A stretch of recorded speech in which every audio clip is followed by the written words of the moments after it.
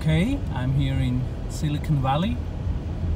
And uh, what we have here on the right side, guess what? It's the Tesla factory. And uh, as it looks I'm supposed not to drive here, it called no entry but I was already in.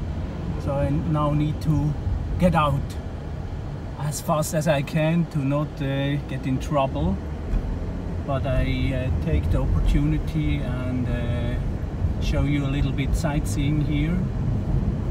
Uh, the Tesla factory before, as far as I know, uh, belonged to uh, Toyota and before that uh, to General Motors.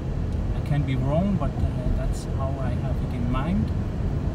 And at about 2010, 2011, um, Tesla bought the place and uh, it's now uh, their main factory for the cars. Especially they made the Model S here, or still making it, not that sure. So there are many stop and go signs.